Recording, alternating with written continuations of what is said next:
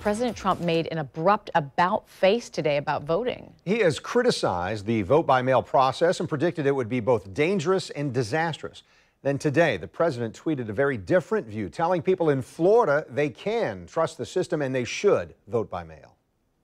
The President of the United States stunning with his tweet Tuesday. It says, whether you call it vote by mail or absentee voting, in Florida, the election system is safe and secure, tried and true. Florida's voting system has been cleaned up. We defeated Democrats' attempts at change. So in Florida, I encourage all to request a ballot and vote by mail.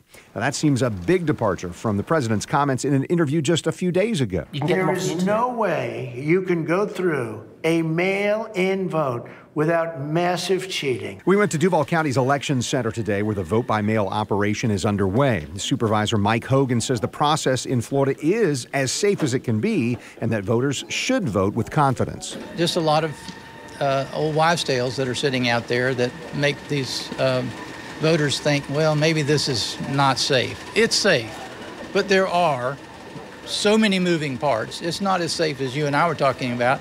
The guy standing there in front of me with an ID and, and getting his ballot and walking right to the tabulator.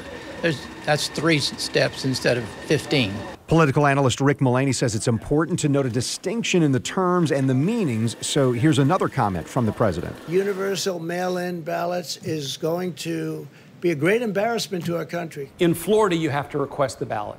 In some states, they will simply proactively send it to you if you're a registered voter. Well, registered voters die, registered voters move, registered voters can change party affiliations. Let's face it, there's three basic ways. There's in person, which you can do early or on election day. That is the simplest, easiest, fastest.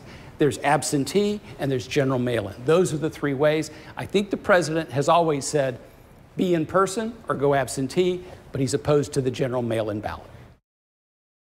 Now, Florida changed the name of absentee ballots in just in 2018. Now, if you want to request a mail-in ballot, you need to contact your supervisor of elections office. In Duval County, the deadline to do that is this Saturday. You can make that request. A reminder, though, early voting is going on until the Sunday before Election Day, which is August 18th.